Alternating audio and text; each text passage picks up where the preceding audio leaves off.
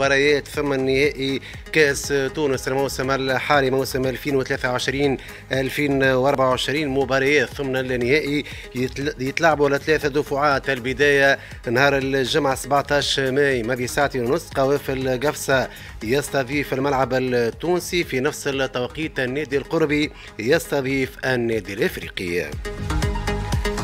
مباراة تتلعب نهار السبت 18 ماي مع ساعتين ونص الأهلي صفاقس يستضيف النجم الرياضي الساحلي ونهار الأحد 19 ماي ما ساعتين ونص الموعد مع الدفعة الأخيرة من مباريات ثمن النهائي محيط قرقنا اللي تأهل البارح على حساب الترجي الرياضي بعد الانتصار اثنين مقابل واحد. يستضيف مستقبل المرسى الاتحاد المناسيري يستضيف مستقبل جابس نادي تقدم سقيط الداير.